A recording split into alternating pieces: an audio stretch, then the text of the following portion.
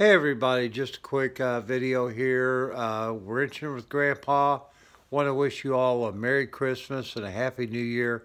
Be safe out there this holiday season, and uh, we're going to see what we can do as we continue with the upbuild of the car. And uh, we got lots of new stuff coming along real soon, so stay tuned. We'll see you soon.